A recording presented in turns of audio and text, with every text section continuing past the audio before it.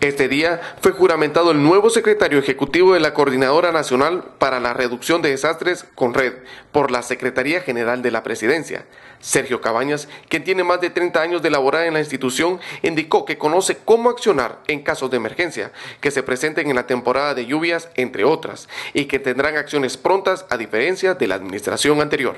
El objetivo de nosotros es seguir con la política de gestión de riesgos, ya que eso es lo esencial eh, únicamente vuelvo a repetir, lo que se podría modificar es el tipo de reacción para que la población se sienta de una u otra manera más tranquila. Las primeras indicaciones del Ejecutivo fueron accionar pronta y efectivamente a favor de la población, como en el caso que atraviesa el municipio de Jerez del departamento de Jutiapa ante las últimas lluvias. Vamos a tener acciones más prontas de lo que se hacía anteriormente para que la población se sienta tranquila es más, se están haciendo ya acciones de prevención, no de reacción en lo que es eh, Jerez.